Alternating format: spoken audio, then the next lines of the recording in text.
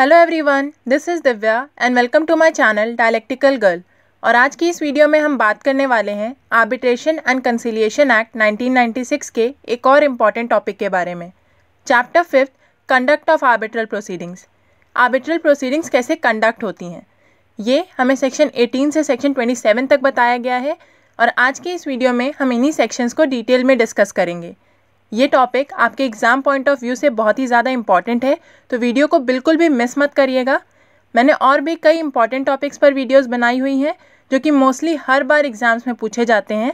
तो अगर आपने मेरी प्रीवियस वीडियोस नहीं देखी हैं तो वो आप मेरा चैनल विज़िट करके देख सकते हैं, या फिर मेरी प्लेलिस्ट में जाकर देख सकते हैं। और अगर आपको मेरी वीडियोस पसंद आती हैं तो मेरी वीडियोस को लाइक करिएगा, अपने फ्रेंड्स के साथ शेयर करिएगा, और हाँ मेरे चैनल को सब्सक्राइब ज़रूर करिएगा। तो चलिए, बिना किसी देरी के ये वीडियो स्टार्ट करते हैं।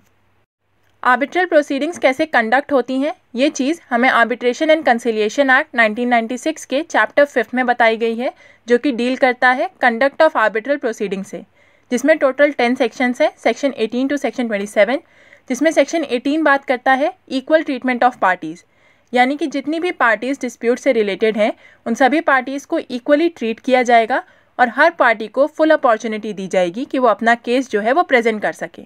तो सेक्शन 18 सिर्फ़ इतनी सी बात कहता है कि जितनी भी पार्टीज़ डिस्प्यूट से रिलेटेड हैं, उन सभी पार्टी को इक्वली ट्रीट किया जाएगा, यानी उनको इक्वल ट्रीटमेंट मिलेगा और जितनी भी पार्टीज़ हैं, उन सभी पार्टीज़ को फुल और प्रॉपर अपॉर्चुनिटी मिलेगी कि वो अपना केस प्रेजेंट कर सकें।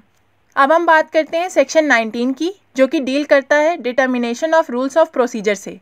यानी कि आर्बिट्रल प्रोसीडिंग्स को कंडक्ट करने के लिए जो प्रोसीजर फॉलो किया जाएगा, उसको डिटरमाइन करने के क्या रूल्स हैं? इस सेक्शन के चार सबसेक्शंस हैं। सबसेक्शन वन कहता है कि आर्बिट्रल ट्रिब्यूनल जो है, वो the code of civil procedure 1908 और द इंडियन एविडेंस एक्ट 1872 के प्रोविज़न से बाउंड नहीं है, यानी कि बाध्य नहीं है। जो भी आर्बिट्रल ट्रिब्यूनल है, वो code of civil procedure 1908 and the Indian evidence act 1872 के प्रोविज़न से बाध्य नहीं है बाउंड नहीं है। सबसेक्शन टू कहता है कि पार्टीज़ फ्री हैं किसी भी प्रोसीजर पर अग्री करने के लिए। यानी कि पार्टीज़ मिलकर किसी भी एक पर्टिकुलर प्रोसीजर पर अग्री कर सकती हैं या पर्टिकुलर प्रोसीजर अडॉप्ट कर सकती हैं, जो कि आर्बिट्रल ट्रिब्यूनल को फॉलो करना होगा आर्बिट्रल प्रोसीडिंग्स कंडक्ट करते टाइम ये तो बहुत सिंपल सी बात हो गई कि जितनी भी पार्टीज़ डिस्प्यूट से रिलेटेड हैं, वो आपस में मिलकर कोई एक पर्टिकुलर प्रोसीजर पर अग्री कर सकती हैं।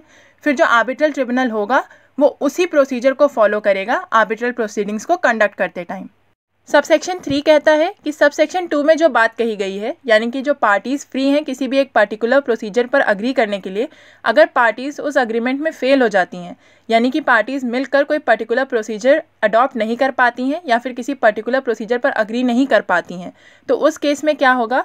उस केस में जो आर्बिट्रल ट्रिब्यूनल है वो किसी भी अप्रोप्रिएट मैनर में आर्बिट्रल प्रोसीडिंग्स कंडक्ट कर सकता है। यानी कि आर्बिट्रल ट्रिब्यूनल खुद से कोई एक पर्टिकुलर प्रोसीजर फॉलो कर सकता है, या जिस भी मैनर में उसे अप्रोप्रिएट लगता है, वो उस मैनर में आर्बिट्रल प्रोसीडिंग्स कंडक्ट कर सकता है।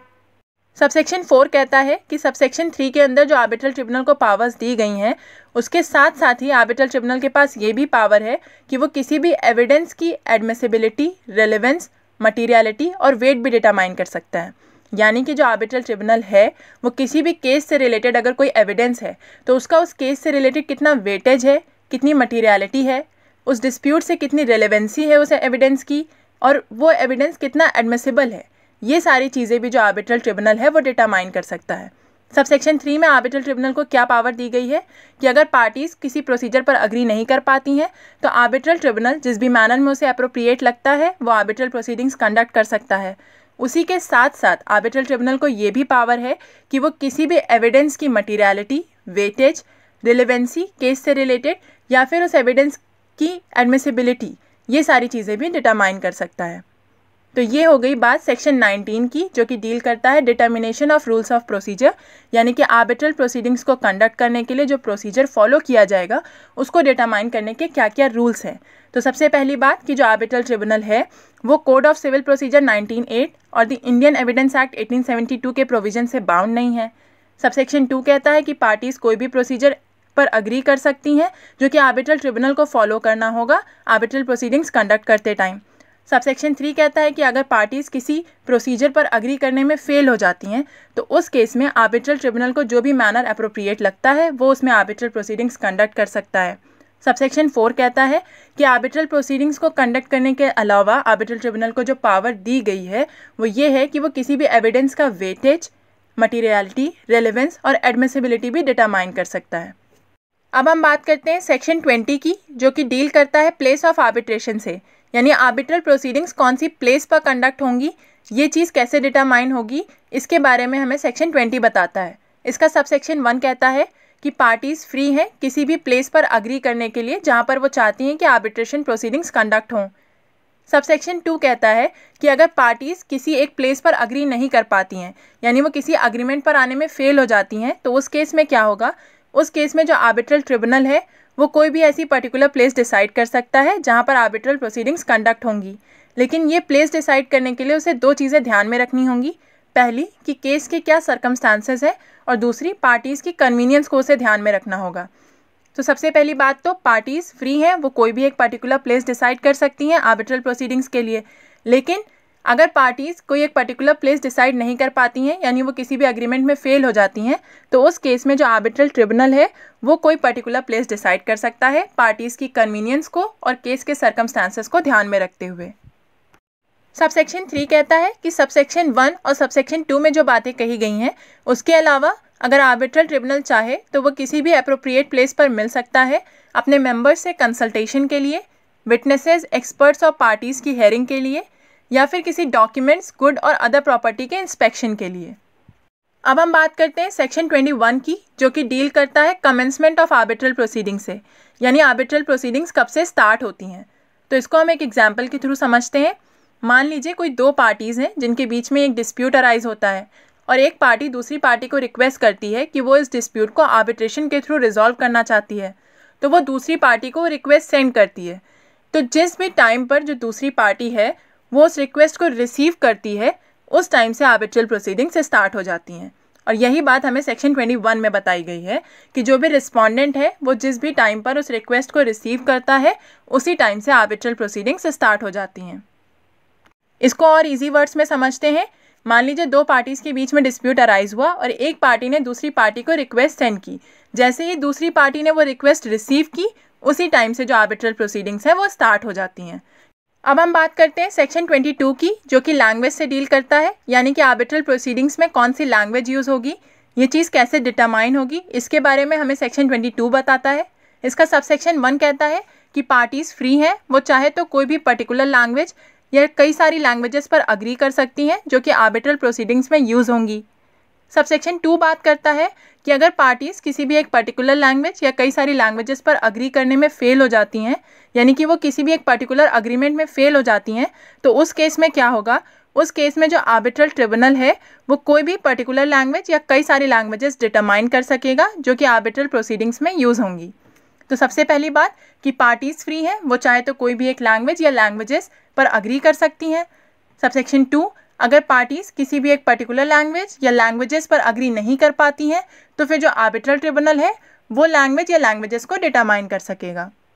अब सब सेक्शन थ्री कहता है कि कोई भी अग्रीमेंट जो कि पार्टीज़ द्वारा किया गया हो या कोई भी डिटर्मिनेशन जो कि आर्बिट्रल ट्रिब्यूनल द्वारा किया गया है, वो पार्टीज़ द्वारा किसी भी रिटर्न स्टेटमेंट किसी भी हेयरिंग किसी भी आर्बिट्रल अवार्ड डिसीज़न या अदर कम्युनिकेशंस पर भी अप्लाई करेगा।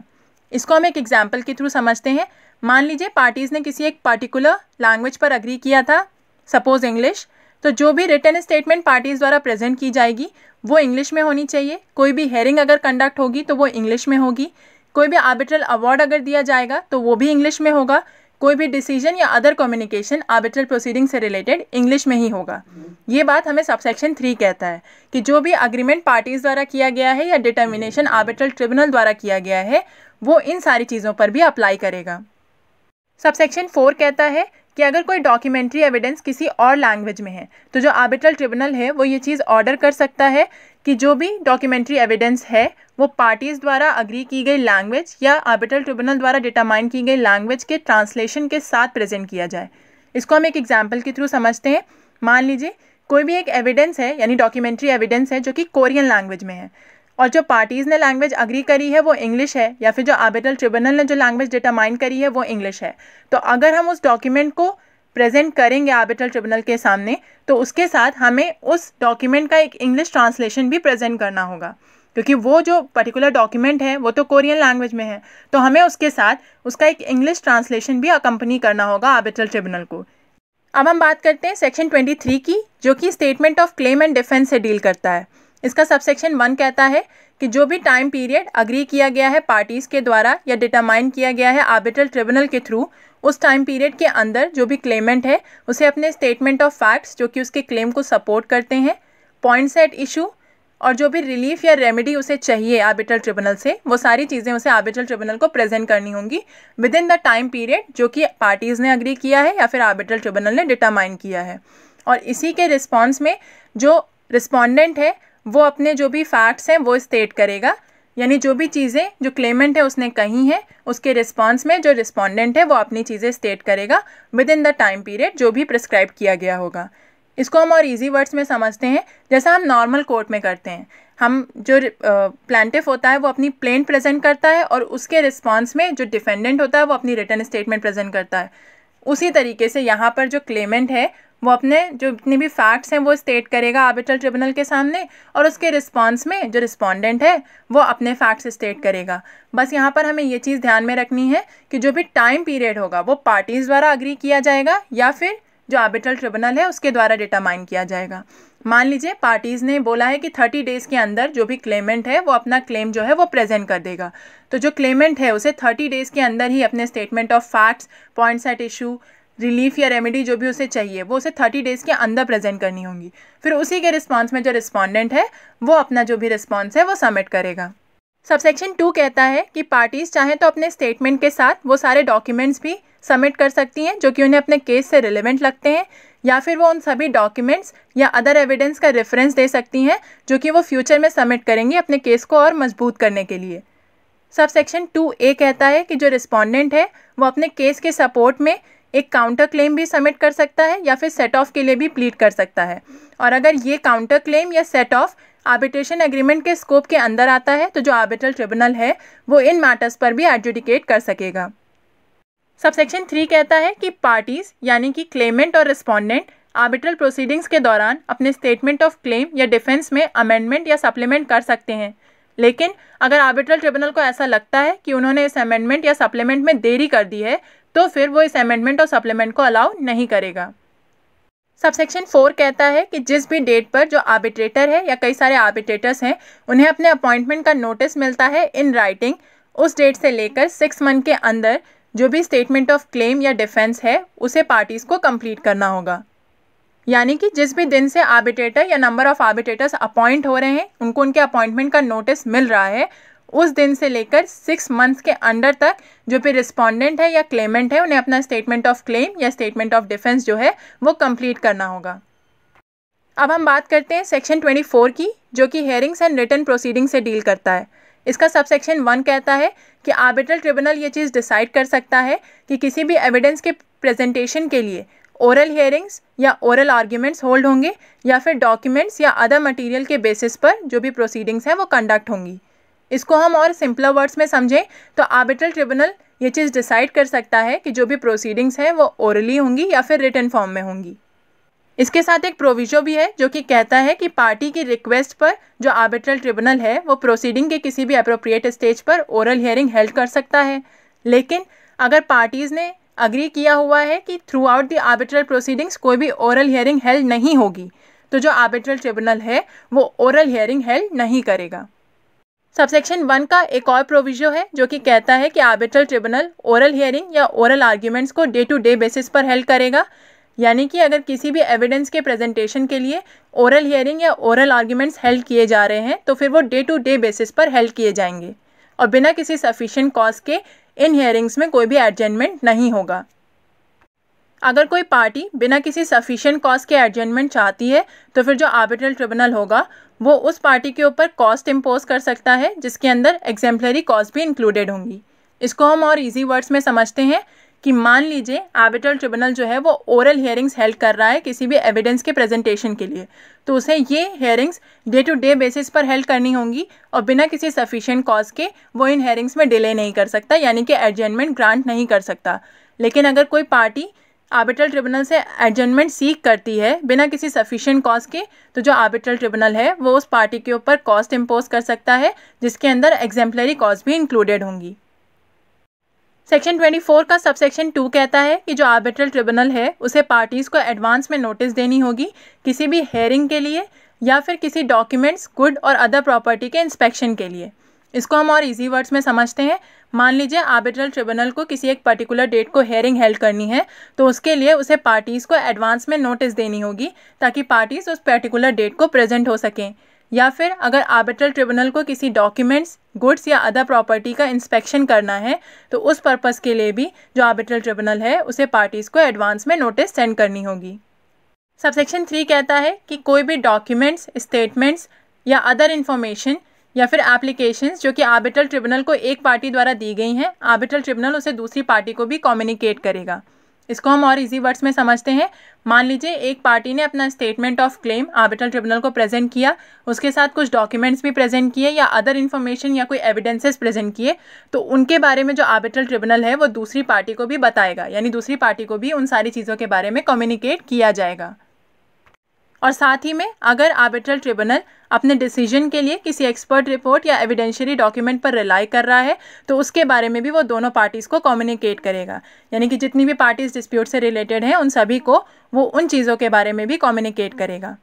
इसको हम और इजी वर्ड्स में समझते हैं। तो सबसे पहली बात कि जितनी भी चीज़ें एक पार्टी द्वारा आर्बिट्रल ट्रिब्यूनल को बताई गई हैं, वो उसे दूसरी पार्टी को कम्युनिकेट करेगा। और अगर अपने डिसीज़न मेकिंग के लिए आर्बिट्रल ट्रिब्यूनल किसी एविडेंशियरी डॉक्यूमेंट या एक्सपर्ट रिपोर्ट पर रिलाई कर रहा है तो उसके बारे में भी वो पार्टीज़ को कम्युनिकेट करेगा। अब हम बात करते हैं सेक्शन 25 की, जो कि डिफ़ॉल्ट ऑफ़ अ पार्टी से डील करता है। इसका क्लॉज ए कहता है कि अगर बिना किसी सफिशिएंट कॉज के सेक्शन 23 सबसेक्शन वन में जो बात कही गई है तो सेक्शन 23 सबसेक्शन वन में क्या कहा गया है कि जो क्लेमेंट है, उसे अपना स्टेटमेंट ऑफ़ क्लेम सबमिट करना है आर्बिट्रल ट्रिब्यूनल को। तो अगर बिना किसी सफिशिएंट कॉज के जो क्लेमेंट है, वो अपना स्टेटमेंट ऑफ़ क्लेम कम्युनिकेट करने में या सबमिट करने में फेल हो जाता है तो उस केस में जो आर्बिट्रल ट्रिब्यूनल है, वो प्रोसीडिंग्स को टर्मिनेट कर देगा। इसको हम और इजी वर्ड्स में समझते हैं कि एक टाइम पीरियड डिसाइड किया गया था पार्टीज़ के थ्रू या फिर डिटरमाइन किया गया था आर्बिट्रल ट्रिब्यूनल के थ्रू और उस टाइम पीरियड के अंदर जो भी क्लेमेंट है, वो अपना स्टेटमेंट ऑफ़ क्लेम कम्युनिकेट नहीं कर पाता है आर्बिट्रल ट्रिब्यूनल को, या फिर सबमिट नहीं कर पाता है कंप्लीट नहीं कर पाता है। तो उस केस में क्या होगा? उस केस में जो आर्बिट्रल ट्रिब्यूनल है, वो प्रोसीडिंग्स को टर्मिनेट कर देगा। सेक्शन 25 क्लॉज बी कहता है कि रिस्पोंडेंट अपना स्टेटमेंट ऑफ़ डिफेंस कम्युनिकेट करने में सबमिट या फिर कंप्लीट करने में फेल हो जाता है तो उस केस में बिना ऐसा माने कि जो रिस्पोंडेंट है, उसने स्टेटमेंट ऑफ़ क्लेम के सारे फैक्ट्स को एडमिट कर लिया है आर्बिट्रल ट्रिब्यूनल प्रोसीडिंग्स को एज इट इज़ कंटिन्यू रखेगा। इसको और इजी वर्ड्स में समझते हैं कि जो रिस्पोंडेंट है, उसने अपना स्टेटमेंट ऑफ़ डिफेंस सबमिट नहीं किया। तो आर्बिट्रल ट्रिब्यूनल ऐसा नहीं मान लेगा कि जो भी स्टेटमेंट ऑफ़ क्लेम में फैक्ट्स कहे गए थे, उनको जो रिस्पॉन्डेंट है, वो एक्सेप्ट कर रहा है एडमिट कर रहा है। वो इन चीज़ों को ध्यान में ना रखते हुए अपनी प्रोसीडिंग्स को एज इट इज़ कंटिन्यू रखेगा। यानी कि जो रिस्पॉन्डेंट है, अगर उसने अपना स्टेटमेंट ऑफ़ डिफेंस सबमिट नहीं किया है तो इसका ये मतलब बिल्कुल भी नहीं है कि जो भी स्टेटमेंट ऑफ़ क्लेम में चीज़ें कही गई थी, वो उसे एडमिट कर रहा है। ऐसी चीज़ें आर्बिट्रल ट्रिब्यूनल नहीं मानेगा। वो सिर्फ़ इतना समझेगा कि जो भी राइट दिया गया था रिस्पोंडेंट को अपना स्टेटमेंट ऑफ़ डिफेंस सबमिट करने का वो राइट उससे वापस ले लिया गया है। बस ऐसा कंसिडर करके वो आगे की प्रोसीडिंग्स कंडक्ट करेगा।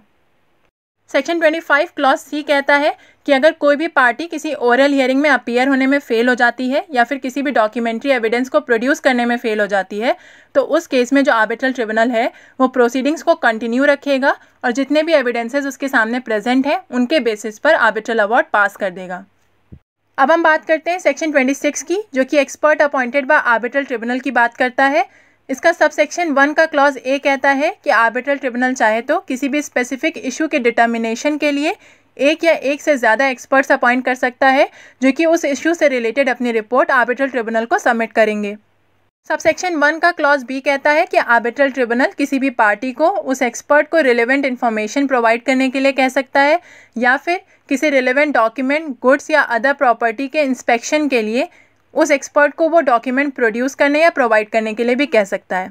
इसको हम और इजी वर्ड्स में समझते हैं। मान लीजिए, जो भी एक्सपर्ट आर्बिट्रल ट्रिब्यूनल के थ्रू अपॉइंट किया गया है, उसे कोई रिलेवेंट इन्फॉर्मेशन चाहिए पार्टी से तो जो आर्बिट्रल ट्रिब्यूनल है, वो पार्टी से कह सकता है कि वो उस एक्सपर्ट को वो रिलेवेंट इन्फॉर्मेशन प्रोवाइड कर दे। या फिर अगर उस एक्सपर्ट को किसी डॉक्यूमेंट गुड या अदर प्रॉपर्टी का इंस्पेक्शन करना है तो उसके लिए भी आर्बिट्रल ट्रिब्यूनल पार्टी से कह सकता है कि वो उस एक्सपर्ट को वो particular document good evidence provide कर दें या उसके सामने प्रोड्यूस कर दें, ताकि वो उन चीज़ों का इंस्पेक्शन कर सके। Section twenty six subsection two कहता है कि अगर कोई पार्टी रिक्वेस्ट करती है या फिर अगर आर्बिट्रल ट्रिब्यूनल को ऐसा ज़रूरी लगता है तो जो भी एक्सपर्ट है, वो अपना रिटर्न या ओरल रिपोर्ट सबमिट करने के बाद किसी भी ओरल हेयरिंग में पार्टिसिपेट कर सकता है, जहाँ पर पार्टी को ये अपॉर्चुनिटी मिलेगी कि वो उस एक्सपर्ट से क्वेश्चन कर सकेंगे। यानी कि जो भी रिपोर्ट उस एक्सपर्ट ने सबमिट की है, उसके रिगार्डिंग वो उस एक्सपर्ट से क्वेश्चंस कर सकेंगे। और साथ ही में जो भी पॉइंट्स एट इशू हैं, उनको टेस्टिफाई करने के लिए वो अपने एक्सपर्ट विटनेसेस भी प्रेजेंट कर सकेंगे। इसको हम और इजी वर्ड्स में समझते हैं कि अगर कोई भी एक पार्टी ऐसा चाहती है या फिर अगर आर्बिट्रल ट्रिब्यूनल को ऐसा ज़रूरी लगता है तो जो भी एक्सपर्ट अपॉइंट किया गया था, वो अपनी रिटर्न या ओरल रिपोर्ट सबमिट करने के बाद किसी भी ओरल हियरिंग में पार्टिसिपेट कर सकता है। इससे क्या होगा? इससे जो भी पार्टीज़ हैं, उन्हें ये अपॉर्चुनिटी मिलेगी कि वो इस एक्सपर्ट को क्वेश्चन कर सकती हैं और जो भी पॉइंट्स एट इशू हैं, उनको टेस्टिफाई करने के लिए वो एक्सपर्ट विटनेसेस भी प्रेजेंट कर सकती हैं। सेक्शन 26 सब सेक्शन थ्री कहता है कि किसी भी पार्टी की रिक्वेस्ट पर एक्सपर्ट को उस पार्टी को वो सारे डॉक्यूमेंट्स प्रोवाइड करने होंगे जो कि एक्सपर्ट के पोजेशन में है, जिनके बेसिस पर उसने अपनी रिपोर्ट प्रिपेयर करी है। इसको हम और इजी वर्ड्स में समझते हैं।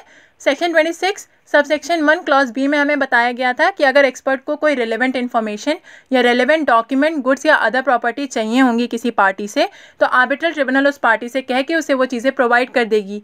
तो किसी भी पार्टी ने उसे वो सारी चीज़ें प्रोवाइड कर दी हैं और अब अगर किसी पार्टी ने उसे रिक्वेस्ट किया है कि वो उन सारी चीज़ों को एग्जामिन करना चाहती है तो जो एक्सपर्ट है, वो वो सारी चीज़ें उस पार्टी को प्रेजेंट करेगा उसके एग्जामिनेशन के लिए। अभी तक वो सारी चीज़ें एक्सपर्ट के पोजीशन में थी, फिर किसी एक पार्टी ने रिक्वेस्ट किया तो अब जो एक्सपर्ट है, वो उस पार्टी को वो सारी चीज़ें प्रेजेंट करेगा ताकि वो पार्टी उन चीज़ों को एग्जामिन कर सके। अब हम बात करते हैं सेक्शन 27 की, जो कि court assistance in taking evidence की बात करता है। यानी किसी भी एविडेंस को लेने के लिए हमें अगर कोर्ट की हेल्प चाहिए तो उसके लिए क्या प्रोविजंस हैं? इसके बारे में हमें सेक्शन 27 बताता है। इसका सब सेक्शन वन कहता है कि आर्बिट्रल ट्रिब्यूनल खुद या फिर पार्टी आर्बिट्रल ट्रिब्यूनल के अप्रूवल के बाद कोर्ट में अप्लाई कर सकती है कि उसे कोर्ट की हेल्प चाहिए कोई पर्टिकुलर एविडेंस लेने के लिए। इसका सबसेक्शन टू कहता है कि जो भी एप्लीकेशन हम अप्लाई करेंगे कोर्ट में, उसमें फॉलोइंग चीज़ें मेंशन होनी चाहिए।